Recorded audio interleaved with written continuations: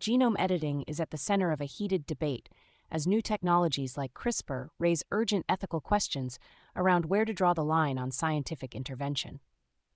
Experts warn that while these advances hold immense promise, they also risk deepening social inequalities if access is uneven or if enhancements become available only to the privileged. Researchers are especially concerned about the potential misuse of genome editing in humans and other organisms. From genetically modified organisms in agriculture to the possibility of cloning and neuroenhancement, each application brings its own set of moral dilemmas and societal risks.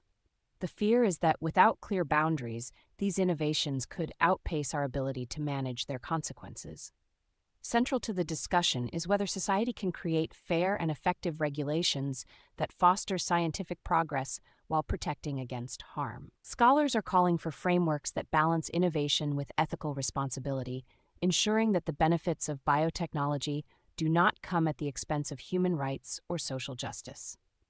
The debate now focuses on how quickly regulatory bodies can respond as the pace of genome editing advances continues to accelerate with the potential for both transformative breakthroughs and unintended consequences, defining the limits of scientific intervention has never been more critical.